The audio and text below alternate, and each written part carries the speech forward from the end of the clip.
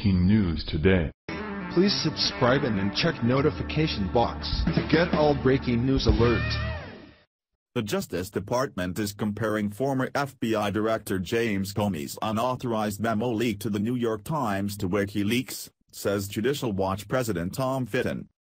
The Justice Department believes some of the Comey memos contain classified material. Judicial Watch reports. Judicial Watch announced today that the Justice Department is now comparing former FBI Director James Comey to WikiLeaks.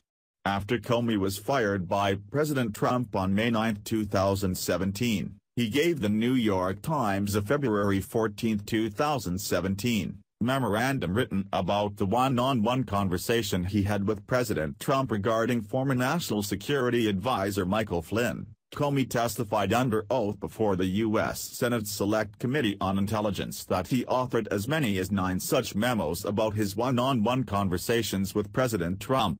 He also admitted, regarding the Flynn memo, I asked a friend of mine to share the content of the memo with a reporter, for the New York Times, I asked him to because I thought that might prompt the appointment of a special counsel. The New York Times published a report about the memo on May 16, 2017. In its court filing opposing the release, the Justice Department also asserts that some of the Comey memos contain classified material. The Justice Department is effectively challenging Comey's testimony, where under oath, the former FBI director claimed he did not leak any classified information, or government documents, to the media.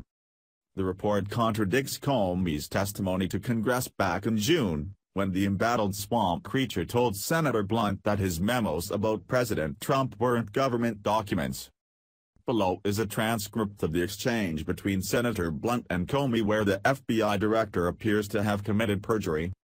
Blunt, you said, after you were dismissed, you gave information to a friend so that friend could get that information into the public media. Comey, correct. Blunt, what kind of information was that? Wasn't that, PH, what kind of information did you give to a friend? Comey. that the, the, the Flynn conversation, that the president asked me to let the, the Flynn, I'm forgetting my exact tone words, but the, the conversation in the Oval Office. Blunt, so you didn't consider your memo or your sense of that conversation to be a government document? You consider it to be somehow your own personal document that you could share with the media as you wanted to? Comey, correct. I. Blunt, through a friend? Comey, I understood this to be my recollection, recorded, of my conversation with the president. As a private citizen, I felt free to share that. I thought it very important to get it out. Blunt, so were all of your memos that you've recorded on classified or other documents memos that might be yours as a private citizen? Comey, I'm sorry, I'm not following the question. Blunt, well, I think you said you'd used classified, a classified, Crosstalk. Comey, not the classified documents. Unclassified, I don't have any of them anymore. I gave them to the special counsel. But, yeah, my view was that the content of those unclassified, the memorialization of those conversations was my recollection recorded. More than half of the memos fired FBI Director James Comey wrote during his private conversations with President Trump have been determined to contain classified information. In fact, more than half of Comey's memos on President Trump were labeled government documents. The Hill reports.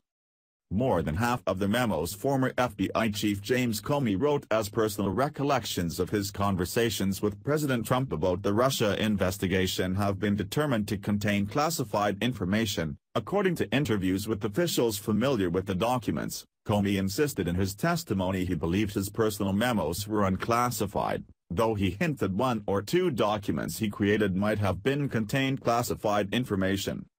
But when the seven memos Comey wrote regarding his nine conversations with Trump about Russia earlier this year were shown to Congress in recent days, the FBI claimed all were, in fact, them to be government documents.